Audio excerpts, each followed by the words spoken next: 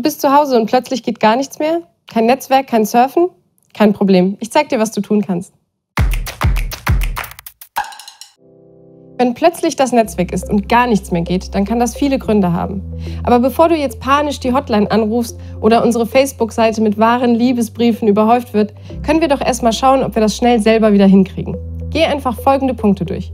Schau erstmal, ob alle Kabel richtig gesteckt sind. Und zwar vom Telefonanschluss bis zum Router.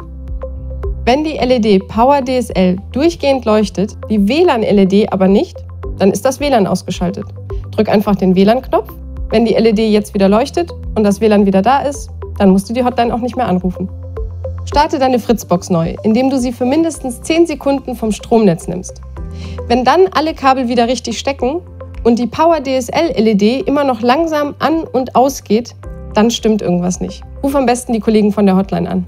Wenn keine der LEDs an deiner Fritzbox blinken und alles aus ist und auch die Steckdose, an der sie hängt, sicher funktioniert, dann könnte es sein, dass deine Fritzbox an Altersschwäche gestorben ist. Ruf einfach die Service-Hotline an. Die helfen dir weiter. So, dann kann der Surfspaß ja weitergehen. Im nächsten Video zeige ich dir, wann es wieder Zeit für einen neuen Router wird. Wenn du noch Fragen hast, dann schreib sie unten in die Kommentare. Hinterlass auch gerne einen Daumen nach oben und abonniere diesen Kanal, dann sehen wir uns. Bis bald!